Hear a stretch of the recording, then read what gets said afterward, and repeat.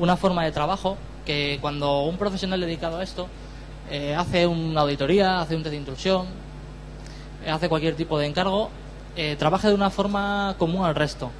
Que yo no entrego un informe y un compañero de la misma empresa de otra entrega un informe completamente distinto, que no tenga nada que ver, que no sepamos de lo que habla. ¿Vale? Dentro de las certificaciones existen varias, ¿vale? La metodología abierta de OSSTM, ¿de acuerdo? Tenemos el, famoso CISP de SC cuadrado, o el CISA, el CISM, el CISM más orientado a la seguridad de gestión, ¿vale? Al liderazgo de, de auditores, liderazgo de proyectos. Y luego tenemos esta otra, el ECH, que bueno, es orientado a, digamos, a auditores técnicos puros y duros. Es decir, la gente que se dedica únicamente a lo que es eh, trastear, para que nos entendamos. Realizar los test de intrusión, comprobar los sistemas, eh, ejecutar exploits y demás. El hacking como tal se supone que es, digamos, eh, la capacidad o las actuaciones que se hacen contra un sistema, una aplicación y demás para conseguir explotarla o sacar un beneficio de ella. Un beneficio que inicialmente no estaba programado, ¿vale? Como puede ser extraer una base de datos, como puede ser obtener el control de un servidor, cuentas de usuario, incluso mover dinero de los bancos. ¿Vale? De ahí pasamos a lo que es el hacking ético. El hacking ético realmente es hacer todo esto de una forma legal, ¿vale? De una forma controlada y que el objetivo sea el beneficio de los clientes. El objetivo es que los clientes tengan un cierto nivel de seguridad, un cierto control sobre el estado de, de las aplicaciones, de los sistemas, que le permita tener una confianza, una confianza en que eso funciona, en que eso, eh, ante un ataque de, de un hacker y demás, o de un usuario interno, esté protegido. ¿Vale? Entonces pasamos de lo que es el hacking al hacking ético. Eh, todo esto va avalado por una confidencialidad. Cualquiera que se dedique a esto no puede llegar mañana y pedir a la empresa un aumento de su-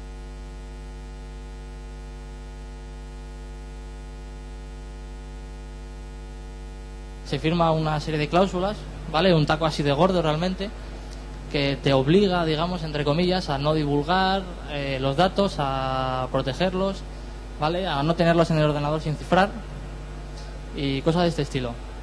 Tampoco vale que el día de mañana os guardéis información debajo de la manga y la utilicéis para hacer una nueva auditoría, para sacar más rendimiento al, al contrato con el cliente. Generalmente las auditorías que se hacen en seguridad, desde el punto de vista de la seguridad de, de intrusión, ¿vale? Son tres tipos, eh, la caja negra, la caja blanca y digamos el estado intermedio, ¿vale? Y, y muy variable, que es la caja gris. La caja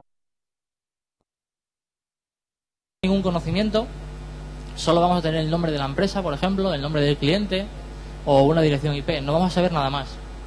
El otro extremo, que es la caja blanca, tendríamos toda la información. Sabríamos cuál es el nombre, cuál es su portal, cuáles son sus servidores, incluso llegado el caso, nos proporcionarían lo que sería un mapa de la red, con todas las direcciones IP, todos los nombres, los firewalls, los, eh, los servidores, los sistemas de protección, para que nosotros lleguemos lo más lejos posible. Y luego, como os digo, en medio tenéis la caja gris, ¿de acuerdo? Que, bueno, os pueden dar tanto una dirección IP como la dirección del firewall, como el nombre de la página. Os pueden dar alguna información adicional, como puede ser el tipo de servidor de base de datos, el tipo de servidor web y demás. Generalmente la metodología, eh, digamos, para unificarla un poco, como hemos dicho que hay varias certificaciones que establecen su modo de trabajo, generalmente una auditoría de intrusión eh, cumple estos pasos, ¿vale? Se divide principalmente en un nivel, como veis ahí, horizontal, lo que sería el nivel de red, el nivel de sistemas y el nivel de aplicación. ¿De acuerdo? A la vez tenéis una división vertical que consiste en obtener información, en detectar las vulnerabilidades, ¿vale? Eh, explotarlas y finalmente crear un informe.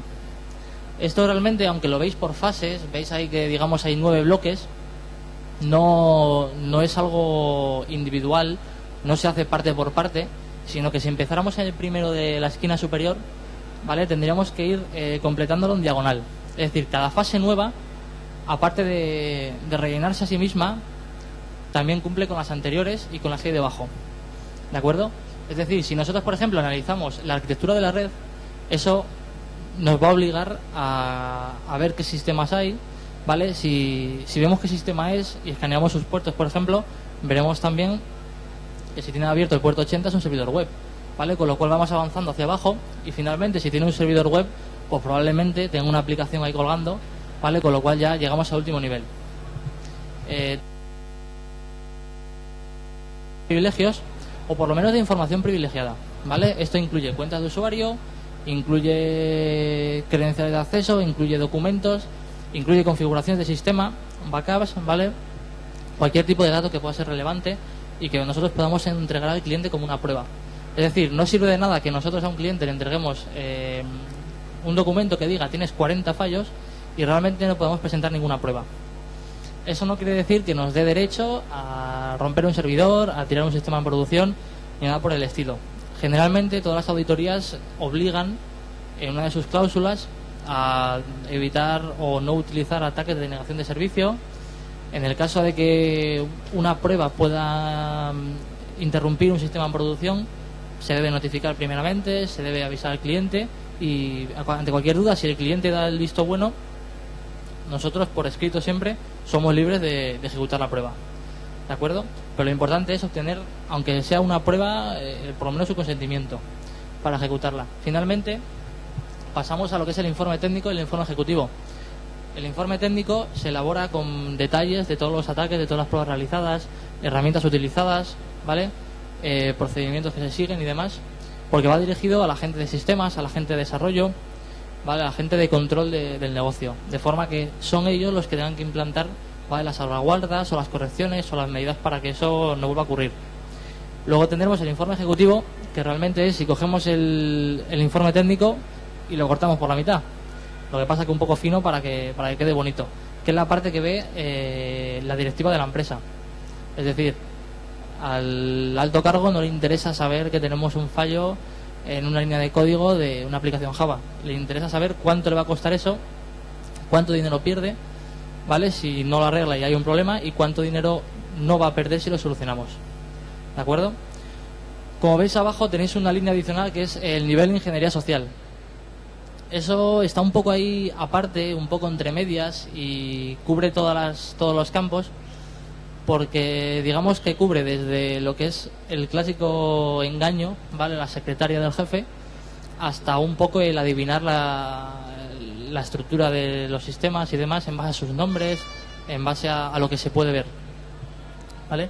Porque, por ejemplo, si nosotros nos encontramos con un servidor al, al comprobar los sistemas, ¿vale? En la segunda, en la segunda fase, si nos encontramos que su nombre, por ejemplo, es Don Quijote, ¿vale? Creo que da un poco, un poco la idea de lo que nos podemos encontrar en el resto de los sistemas.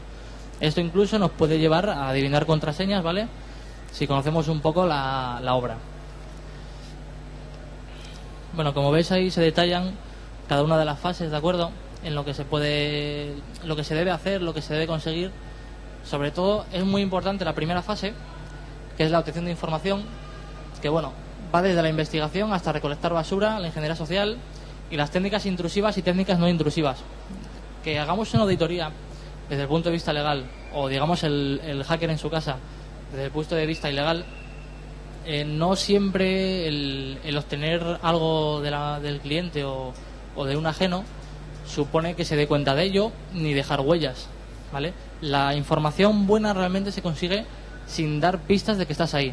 Es decir, buscando por Google, utilizando buscadores de, de DNS, resoluciones de nombre mediante los buscadores y demás. Sobre todo suele ocurrir que se publican ficheros PDF que contienen información confidencial en Internet, porque Google es muy bueno y lo indexa todo.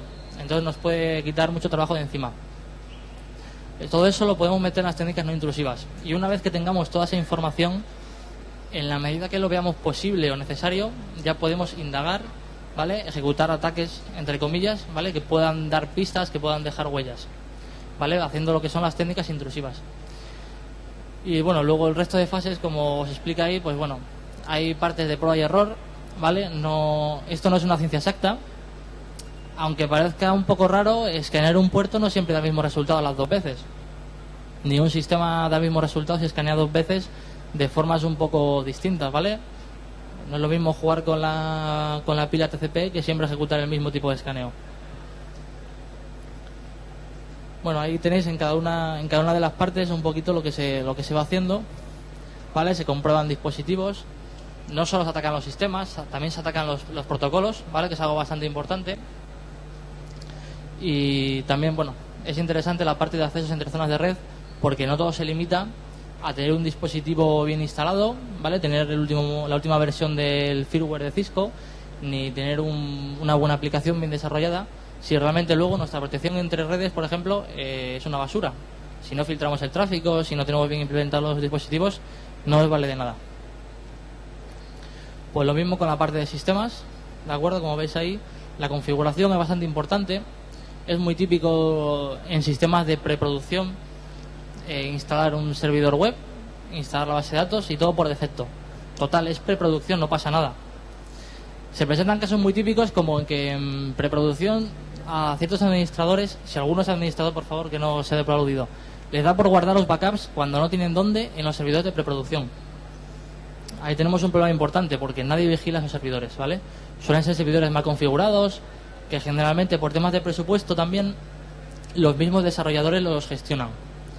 Los mismos desarrolladores ponen parches, trabajan con la base de datos, crean usuarios, ¿vale? Y toda la basurilla que se va quedando ahí amontonando a razón de esta gente que que lo utiliza de forma temporal y cree que no hay ningún problema, repercute directamente a nivel de producción. Entonces es muy típico poder escalar desde un punto hasta otro. ¿Vale? Lo mismo tenemos con las aplicaciones. Las aplicaciones, me voy a parar un poquito, más que nada porque es la, digamos, la parte de seguridad que está más, más fuerte ahora mismo a, nivel de intrusión. Es una parte que se toca mucho, que está muy de moda. Pues bueno, pues ahí, ahí tenéis el tema del cross-site scripting, de la inyección de SQL o de incluso de, LDAP o otros tipos de código, que bueno, en los últimos años ha dado, ha dado mucho auge a, trabajar auditorías con este punto. Antes las aplicaciones eran cliente-servidor, ¿vale? Eran aplicaciones por consola y demás. Ahora todas las aplicaciones van por web, porque es más cómodo, porque es más rápido de desarrollar, es más fácil de cambiar, ¿vale? El código es más fácil de, de manipular y demás. Eso también origina que se investigue más a nivel de seguridad, ¿vale? Y que haya muchos fallos en este, en este campo. Y finalmente, bueno, ahí tenéis lo que, lo que habíamos hablado de la ingeniería social, que bueno, generalmente, a mi forma de ver, la idea feliz es la más importante, ¿vale? Realmente que seamos capaces de, dar las vueltas a las ideas y obtener información de, donde no la hay, es un poco como el examen de la universidad, ¿no? A ver si se me ocurre la, la respuesta buena. Y bueno, los principales ataques, como veis ahí por cada una de las capas, ¿vale? En casi todos podéis ver que tenéis denegación de servicio, ¿de acuerdo?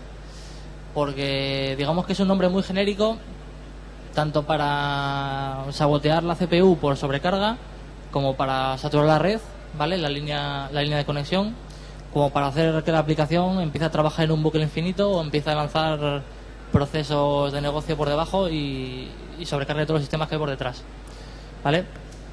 Por eso mismo hemos dicho antes que es una parte que a nivel de auditoría no se puede ejecutar porque suele tener muchos problemas por detrás. Eh, a nivel de ingeniería social, como veis ahí, tenéis el tema de los phishing y los troyanos. También es un, campo de la seguridad que en los últimos años ha dado mucho, mucho trabajo, sobre todo porque se, se entremezclan, sobre todo porque el phishing comenzó con una página de un banco, con dos páginas de dos bancos, ¿vale? Y acabó realmente siendo troyanos que lo que hacen es lo mismo que las páginas, pero de forma inteligente, ¿vale? De forma inteligente, de forma camuflada los usuarios no se suelen enterar que están ahí y van desde la captura de, de las pulsaciones del teclado ¿vale? Hasta, hasta el punto de, de, comprobar los movimientos del ratón por el navegador, ¿vale? De las pulsaciones con el ratón en los teclados virtuales de los bancos.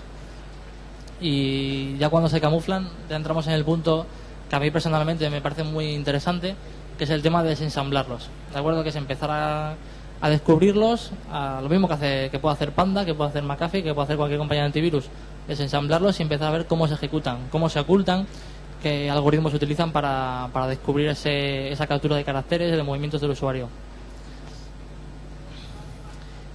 Y bueno, ahí tenéis un esquema de, bueno, lo que sería una red bastante, bastante básica. Seguro que muchos la veis y dices, el tío que ha diseñado esto es un, vamos, es un patán es un patán porque eso, eso no tiene ni pie ni cabeza. Eso es muy típico encontrárselo, ¿vale? Empresas que han montado su red hace bastantes años que lo que han hecho no es arreglarla o volver a gastarse dinero y volver a montarla, sino que han metido parches. ¿Qué queremos? ¿Una máquina nueva? Venga, para adentro. ¿Qué queremos? ¿Otra? Venga. ¿Qué queremos? ¿Nueva base de datos? Pues para adentro también. ¿Dónde las colocamos? Pues venga, en la red interna. Total, los usuarios internos no van a hacer nada. ¿No? ¿Para qué voy a gastar ancho de banda y pasar por un firewall? Lo paso directamente por la misma red de, red de usuarios y listo. Esto es muy típico encontrárselo, ¿de acuerdo? Como ves ahí, tenéis servidores expuestos, como puede ser el servidor de aplicaciones, ¿vale? Incluso a veces nos encontramos que el servidor web está es el mismo servidor que el de aplicaciones, que ni máquina virtual ni nada, es la misma máquina, literalmente. ¿De acuerdo?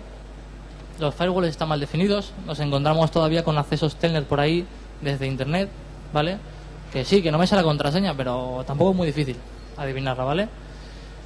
Nos encontramos con las reglas mal definidas, nos encontramos con que se permite tráfico desde cualquier dirección IP, que realmente debe controlarse un poquito más el tema, el tema de las conexiones externas. Luego hay usuarios, como veis ahí, que hacen un loop, ¿vale? Que salen a internet y vuelven a entrar. Eso también es muy típico cuando están los accesos de entrada y salida mal configurados. ¿Vale? Y sobre todo la parte que suele ser importante recalcar, ¿vale? Que es la confianza de los usuarios internos. Los usuarios internos son muy peligrosos, ¿de acuerdo? Tanto la persona de forma voluntaria como la persona de forma involuntaria. Hay gente que, que llega y dice, es que me he comprado un ordenador nuevo que trae wifi, que trae bluetooth, trae de todo. Y uf, es que en la oficina me apetece bajar a la cafetería y estar conectado para ver, no sé, la evolución de un proceso o el periódico, me da igual. Pues la gente de buena fe instala un router, un router wifi que le, que le dan en, su casa de telefónica, coge, lo enchufa y todo contentos.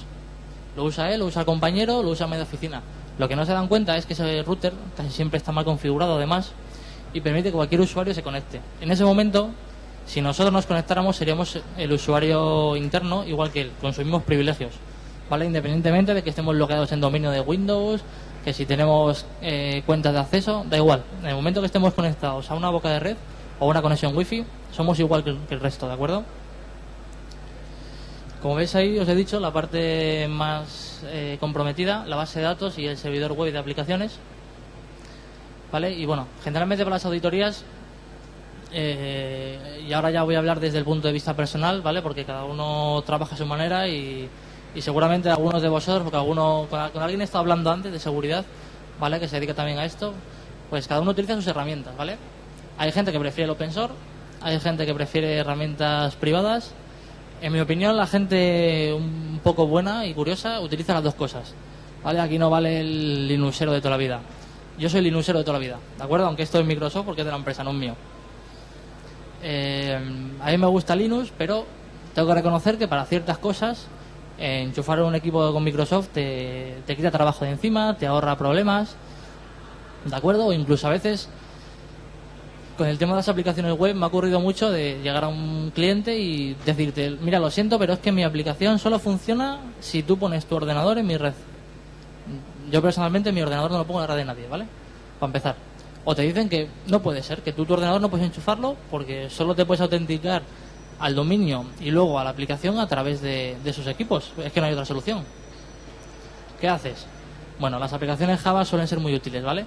o bien tienes aplicaciones de eh, tipo Bursuite vale y demás que son Java y te da igual ejecutarlas en tu máquina que en cualquier otra vale o también bueno tienes la solución de utilizar las imágenes virtuales de acuerdo si te permiten instalar un VMware o herramientas similares de virtualización te carga las imágenes vale y tienes distribuciones de seguridad completas ahí tenéis yo principalmente me suele gustar vale utilizar Backtrack vale o en todo caso Wi-Fi Slacks cuando hablamos de, ya de temas de, intrusión en redes inalámbricas.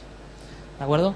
Eh, el CD está ahí porque, bueno, hasta hace un tiempillo, pues es lo que se utilizaba, ¿no? El típico Live CD.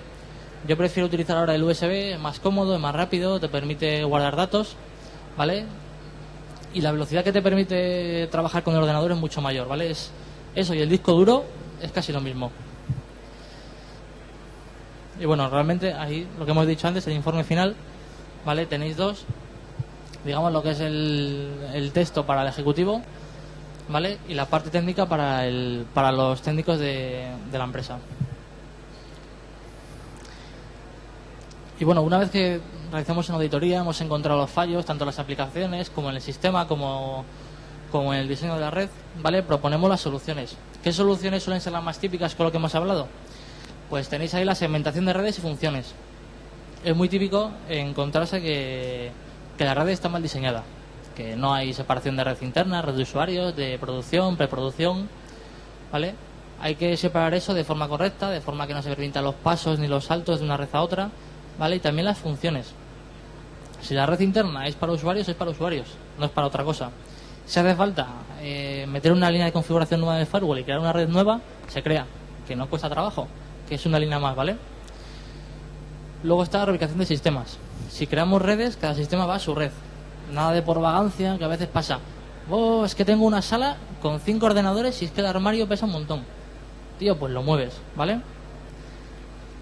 Y luego está la implantación de salvaguardas. No siempre es posible solucionar los problemas, ¿vale? No siempre hay dinero, no siempre se dispone del personal necesario. A veces, pues, cuesta más lo que tenemos que arreglar que poner un apaño, ¿vale? Y alguno dice, jo, qué triste. Sí, ya es triste, ¿vale? Pero es así.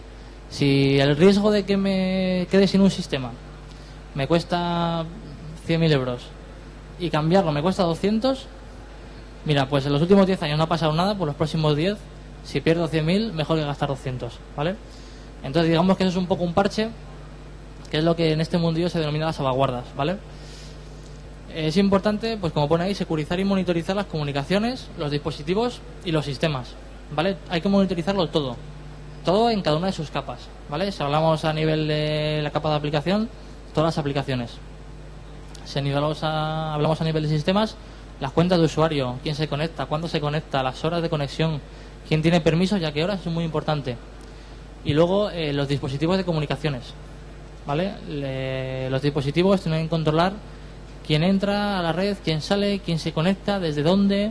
Si tengo un usuario que se conecta por VPN, no se puede conectar a las 2 de la mañana si no es una persona de, que tenga una guardia de 24 por 7. ¿Vale? Si tengo un directivo, pues me muerdo la lengua y se conecta cuando quiera.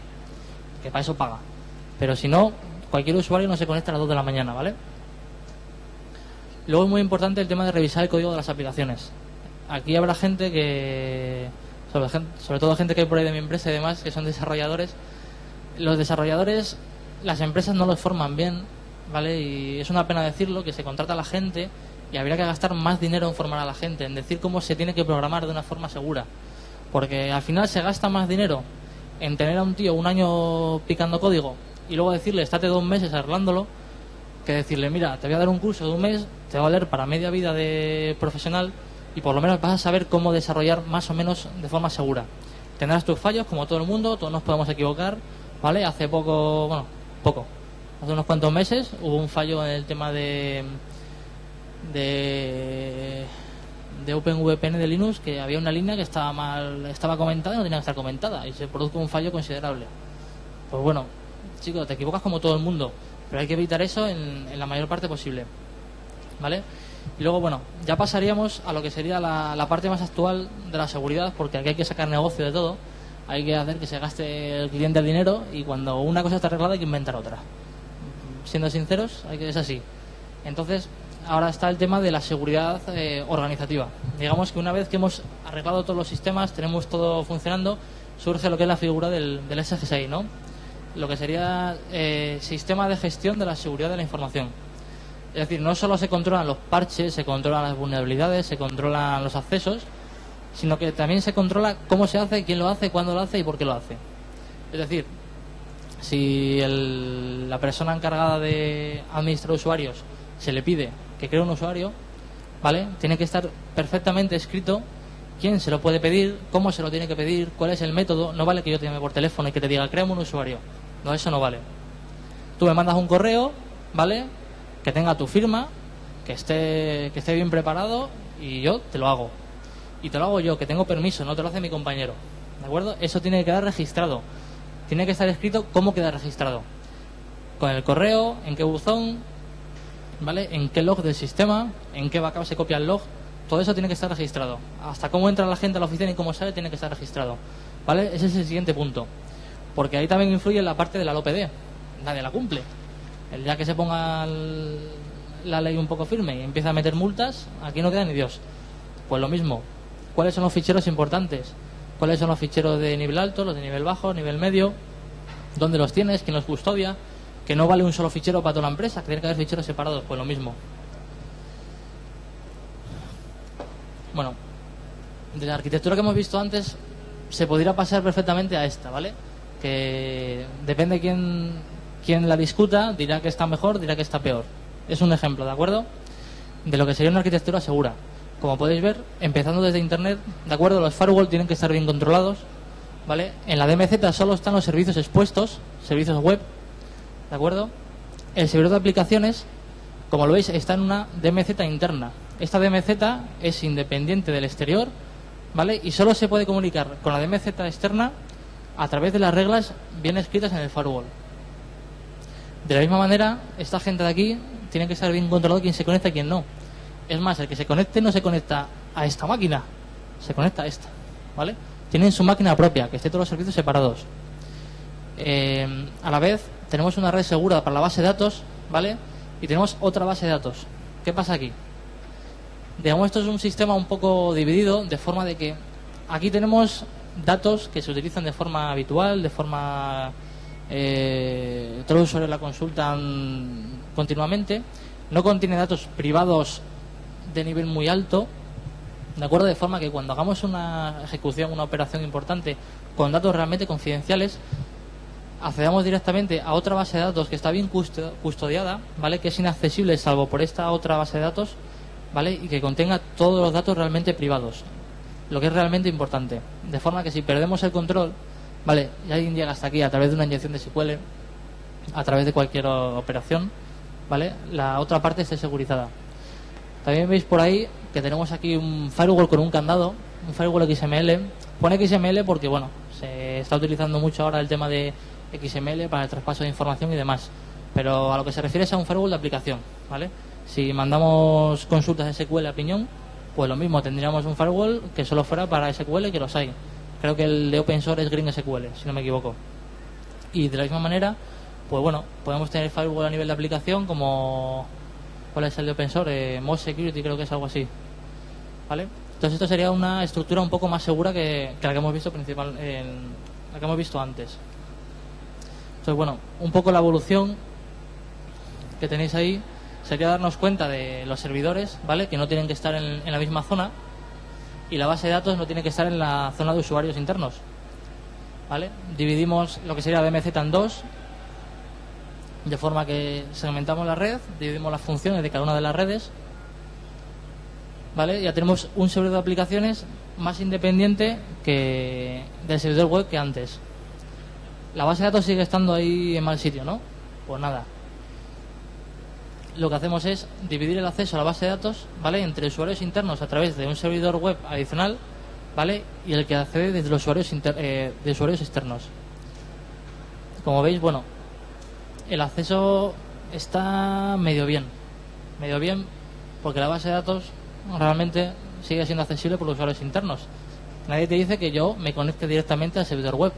Perfectamente puedo lanzar las queries contra la base de datos. Pues las separamos, ¿vale? Tenéis ahí una nueva, una nueva red solo para la base de datos.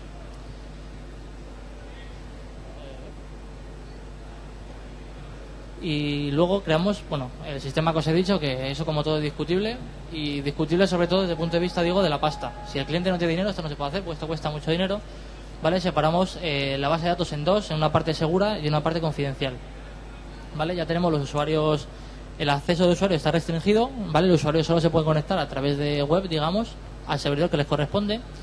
Los usuarios externos lo mismo, a través del servidor web de la DMZ, ¿vale? Y los servidores de aplicaciones solo se pueden comunicar entre sí y con el servidor web correspondiente, ¿vale? Como veis aquí influye todo, influye la capa de sistemas, la capa de red y la capa de aplicaciones. Aquí no puede dejarse nada al azar, ¿vale? Y finalmente, si queremos ya, digamos, pasar a la siguiente fase, que sería controlar todo esto, sería monitorizar a través de sondas, a través de firewalls adicionales, ¿vale? Cada uno de los puntos las sondas se colocan en todos los puntos de la red, ¿vale? No sirve de nada, colocar una sonda aquí en la base de datos. Lo importante es colocarlas en cada uno de los puntos de paso donde la información pueda, pueda pasar de una red a otra. ¿De acuerdo? Tanto en la parte externa del firewall como en la parte interna. Porque si nosotros vemos una alerta desde la parte externa, eso no quiere decir que haya entrado. ¿De acuerdo? Que se haya saltado ese control de seguridad. Pero si tenemos una sonda en cada una de las dos partes, sí sabemos cuántos ataques hemos tenido, ¿vale? Y cuántos han tenido efecto realmente. ¿Vale? Luego, bueno, hay una cosa adicional que sería interesante comentar, es el tema de los honeypots, ¿vale? Que son bastante interesantes a nivel de, de una vez de todo esto está puesto, ver eh, si un atacante consigue algo, consigue llegar hasta alguna zona de nuestra red interna, hasta qué punto llega, cómo lo hace, ¿vale? Lo que nos va a permitir seguramente no solucionar el problema, porque si lo tenemos así montado y está bien montado será por algo, será porque al, negocio que tenemos le interesa, sino por lo menos nos permitirá emitir las salvaguardas que hemos dicho, implantar controles, implantar alertas que permitan, bueno, al operador de turno, a procesos en ejecución, ¿vale? Que controlen esas conexiones, esos accesos, ¿vale? Y los corten. Bueno, finalmente nos quedamos con esto, ¿vale? Que sería una base de datos segura. Tenemos claro cuáles son las partes eh, comprometidas, ¿vale? Pero las estamos controlando. Y bueno, el tema de la revisión del código, como hemos dicho antes, el código, pues bueno, el desarrollo, lo de siempre. Primero se desarrolla, se prueba y se pone en producción. Y una vez en producción, se vuelve a probar, se vuelve a manipular y se vuelve a poner en producción. Y eso se pone así hasta el día del, vamos, hasta que se acabe el mundo, no hay más. Eso continuamente es un proceso, como ves hay un círculo que da vueltas, ¿vale? Pero es importante el software mantenerlo actualizado, tener una persona que lo controle, que los cambios que haga se documenten, eso es una parte de la seguridad, la documentación. Que todos los cambios estén controlados, lo haga siempre la misma persona a ser posible, que se documente tanto por escrito como en el código, como que todo esté controlado y hay un registro, ¿vale? Son muy útiles el tema de los, eh, los sistemas mm, de, control de versiones, ¿vale? A nivel de desarrolladores. Quien desarrolla sabe de qué va el tema, no voy a meter, no voy a, meter a fondo. ¿Vale? Y finalmente la seguridad organizativa, que como ves ahí, de recalcar que se divide en la creación de una política, ¿vale? La política, digamos, que tiene que ser aprobada por la, por la, por la dirección de la compañía, ¿vale? A la política se le suman unas normas, que es lo que se debe hacer, y después serían los procedimientos, que es el cómo se hacen las cosas y cómo se cómo tiene que ejecutarla cada uno de los usuarios independientemente de su puesto. ¿Vale? Los procedimientos se dividen por áreas, se pueden dividir por puntos de trabajo, como interese. ¿Vale? También es importante clasificar la información y una vez que tengamos todo esto, se mete ahí en una carpeta y el que lo quiera que lo lea. ¿Vale? Pero todo usuario que haga cualquier acción en la, en la empresa cliente tiene que cumplir con esto. Luego, bueno, al tema de la seguridad también se puede añadir el tema de continuidad de negocio, el tema de análisis de riesgos y demás. El, en el análisis de riesgos también va incluido en el SGSI. Es decir, nosotros para poder eh, escribir unos procedimientos, para poder escribir unas normas y demás, nos tenemos que, tenemos que saber cómo está todo. Porque una vez que tengamos eh, escrito todo esto, tenemos que decir cómo se va a gestionar. ¿Vale? ¿Qué proyectos son adicionales para solucionar los problemas ¿vale? Y cómo tienen que abordarse.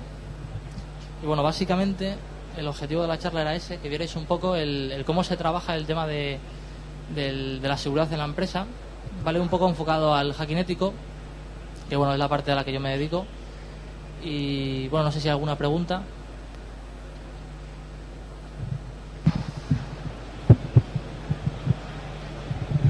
Hola, buenas. Eh, mira, una pregunta. A mí lo que me come la cabeza es cuánto tiempo está vigente una auditoría de seguridad. Te quiero decir, si tú tienes una empresa tuya, ¿cada cuánto tiempo le pasarías una buena auditoría? Hay gente que me dice que a cada versión de Backtrack. Eh, buena pregunta. Depende en qué lo enfoques. Si hablamos de código de una aplicación, las revisiones pueden ser anuales, ¿vale? Depende cuánto cambies de aplicación. Realmente una aplicación haces una evaluación una primera vez, si quieres un segundo opinión, igual que el médico, haces otra al momento para comprobar que ni uno te engaña ni se queda corto, ¿vale? Y a partir de ahí, si tú consideras que esa aplicación se modifica mucho el código, se cambia todos los meses algo muy importante, o son aplicaciones que continuamente están en desarrollo, como son temas de producción, de facturación, de control de clientes y demás, pues hombre, a lo mejor cada seis meses, ¿vale? Más o menos, cada año. Eh, luego, pues depende, los sistemas lo bueno es una vez al año, ¿vale? Si lo mismo, si tienes una rotación muy alta de sistemas, porque entran muchos sistemas nuevos, porque tienen mucha rotación de personal, que es una parte muy importante, ¿vale? Si yo entro a administrar un sistema y trabajo de mi manera, mañana entras tú, trabajas de otra y tú puedes dejar fallos, que yo puedo dejar fallos, ¿vale? Entonces, seis meses, un año, depende. Hay clientes, yo tengo clientes de mi empresa que lo hacen cada seis meses y lo hacen siempre empresas distintas, ¿vale? Y tengo otros que lo hacen cuando toca entregar producción, ni más ni menos. O sea, que es como el médico, vamos, que Sí, cuando estás malo vas. Depende de ti también. Esa es la verdad. Cuando, están, cuando te dicen, cuando sacan los colores, ¿sale? Sale publicado el periódico, tal empresa tiene un problema, no sé qué. Al siguiente día tiene un tío, seguro, seguro. Pero hasta entonces no se suele llamar. Hay empresas que están concienciadas y dicen, pues mira, me gasto los 3.000, 4.000, 5.000 euros que me va una auditoría, ¿sabes? Al año y ya está. ¿Qué, qué son 5.000 o 10.000 euros? Para una empresa que factura millones eso no es dinero, ¿vale? Incluso siendo poco dinero, se ve mal. Gracias. ¿Alguna pregunta más? Espera, espera, que si no, no se oye nada.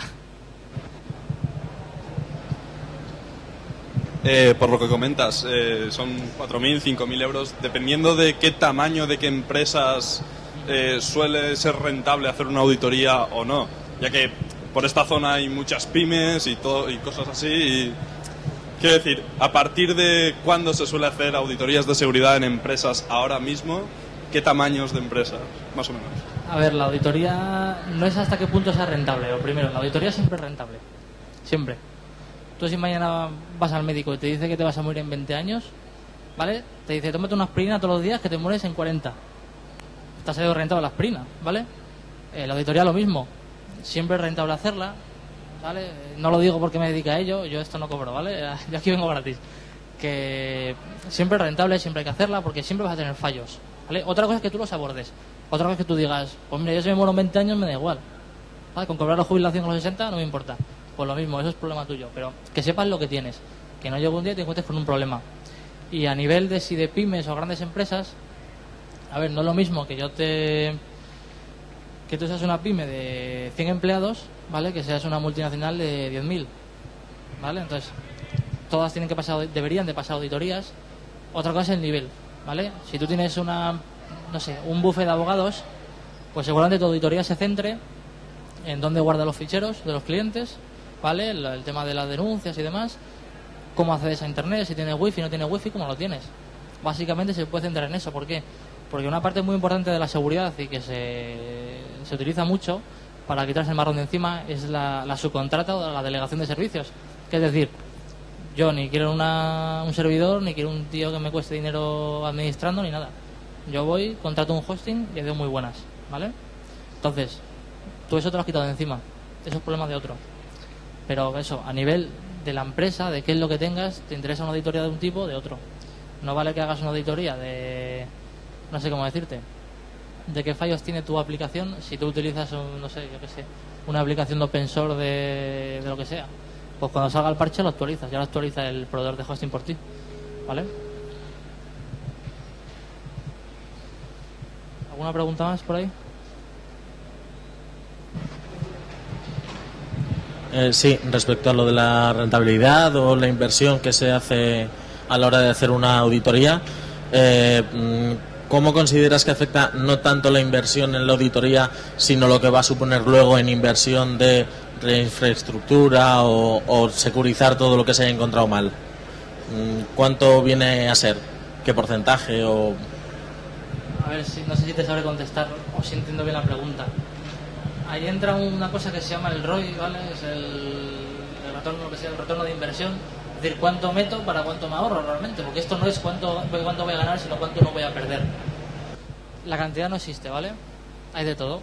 Si tú tienes que actualizar una aplicación, te costará poco. Si tienes que actualizar todo, red, sistemas, aplicaciones, te va a costar mucho más lo que no se suele ver a veces es que igual te vale más la pena tirarlo todo abajo y volver a montarlo, ¿vale? Porque una vez que lo arregles te puedes encontrar con que no cumples la ISO, con que no tienes un CPD de respaldo, con que ni siquiera tienes una puerta en el CPD. Depende de lo que tengas. Ahí influye mucho la delegación de servicio.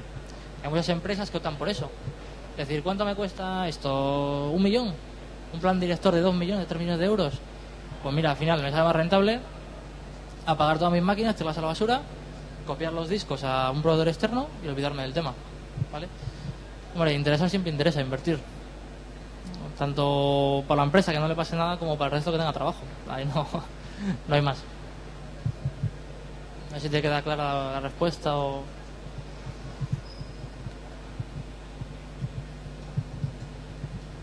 ¿Nadie más? Bueno, ¿alguna cosa? Espero que os haya gustado, que haya sido interesante, ¿vale? Para cualquier consulta que tengáis o que surja una duda o lo que sea, bueno, ahí tenéis la dirección de correo, ¿vale? Y bueno, muchas gracias por vuestra atención.